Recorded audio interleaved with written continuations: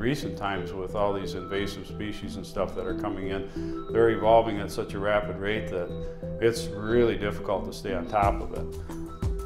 You don't want to make a mistake on the lake, so if you want to make a management decision, you'd rather do it on a computer model. We spent hundreds of thousands of dollars and I don't know how many man hours building these models. And the models are essentially defunct.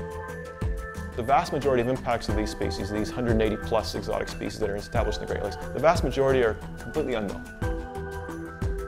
We got 300 pounds of quagga mussels in one of our trawl hauls. We could, couldn't even get the trawl in the boat, trying to find a fish among 300 pounds of quagga mussels. We saw some monster salmon heads that were sitting on little dwarfed bodies, and it was the ugliest thing, and it was rather nasty.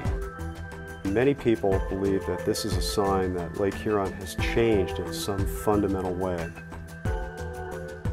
These parking lots used to be full. There's four or five parking lots here. They used to, there used to be a line to launch your boat.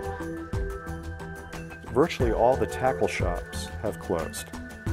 There are quite a few motels that have closed and are for sale now. Uh, the marinas are essentially empty. I can't imagine anything that would be as destructive as the quagga and the zebra mussels have been. Are there more out there? Yes, there's at least 30 other Pontocaspian species that are invading Europe right now, colonizing and dominating ports right now from which we receive shipping traffic. Seems like it always has to wait till it's at a disaster level before, you know, we can start fixing it. We're constantly putting out these biological fires, running from fire to fire to try to keep them under control.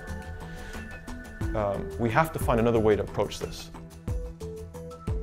We are dealing with the largest freshwater systems in the world, on the planet.